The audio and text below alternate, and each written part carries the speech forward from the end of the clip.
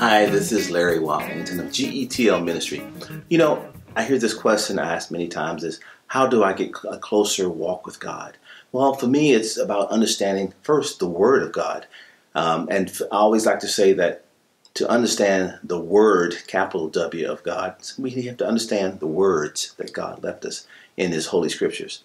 This series that I'm doing is called Recognizing the Patterns of the Holy Scriptures. And it gives us some techniques and ways to improve not only how we read and study, but how we grow into application with the Word.